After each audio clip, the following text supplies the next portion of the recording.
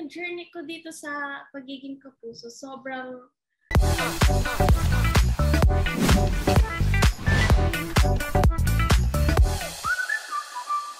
naging mag-friends po kami lahat doon. Like, lalo na po sina um, Ate Jopay. Ayan, nagkukwento-kwentuhan po kami habang nasa tent kami. And sobrang professional po ng mga co-actors ko. Kaya hindi po mahirap mag magtrabaho kasama sila. And hindi po ako um, nahihirapan sa mga bawat scene namin na Sunshine Cruz and ni Polo Ravales kasi po sila po yung um, parents ko doon. And super smooth lang po nung um, taping namin. Yung pinortray ko na um, role ko dito sa wish ko lang. Siguro po mas nakaka-relate po ako dun sa pagiging active niya sa education niya. Yung pinapahalaga niya po yun. And sobrang na-inspire po ako kasi gusto niya pong um, maging proud yung mga parents niya. And sobrang nalungkot lang po ako kasi kaya naapektuhan ako. Siyempre, um, habang binabasa ko po yung script namin from the beginning po, sobrang sobrang wala po kami alam ng mom ko kasi kung ano po yung pinagagawa ng daddy ko. Pero yung love po sa akin ng daddy ko, sobrang ano, supportive, ganyan. Tapos binibigay niya po yung mga kailangan namin ni mommy.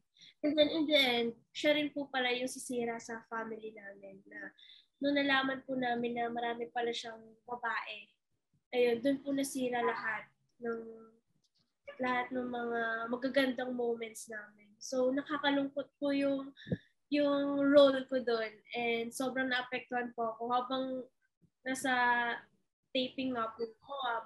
Talagang apektado ako eh, kasi si Miss Sunshine Dream, si Miss Sunshine po talagang ramdam ko rin po yung pagiging ano niya, um, pagiging professional niya sa pag-portray niya sa role niya. Kaya feeling ko totoo po yung mga nangyayari doon.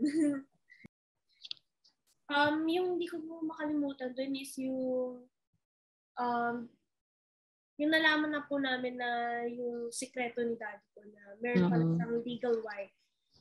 And yung bigla po ako na tuklaw ng ahas dahil lang po sa banggayan nila ni mommy and yung legal wife. Ayun po, dun po nag-end yung pinaka-tragic na nangyari sa family namin. So, sobrang nakakasad po. Um, yung journey ko dito sa pagiging kapuso, sobrang dream come true po talaga kasi tagal ko na pong pangarap to, maging artista.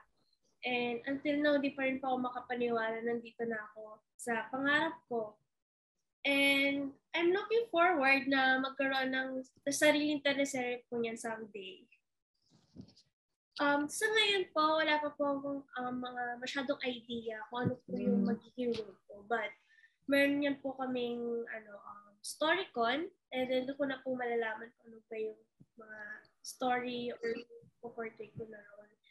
And mag-start na po yung taping namin yan this November.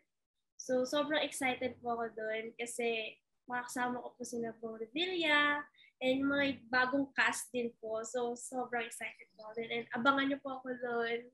Um, para sa akin po, ano, um, thriller kasi siyang movie. But horror naman po siya.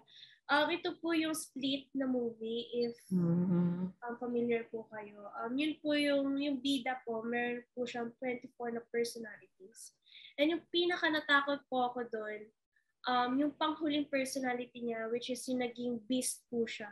Sobrang strong niya and um, sobrang nakakatakot. Um, kabang-kaba po kapag iniisip ko po yun. Kasi what if may to- totoo nga kung may disorder na ganun, pero mas in- in-exage po nila dun sa movie, kaya mas natakot po talaga ako. Uh, dati po, pag Halloween, nung hindi pa po pandemic, may po kami mag-trick or treat ng mga kapatid ko. But ngayon po, ayun lang po, pupunta lang po ako sa, pupunta lang po kami sa mga, um, na, sa mga family namin sa cemetery, ganyan.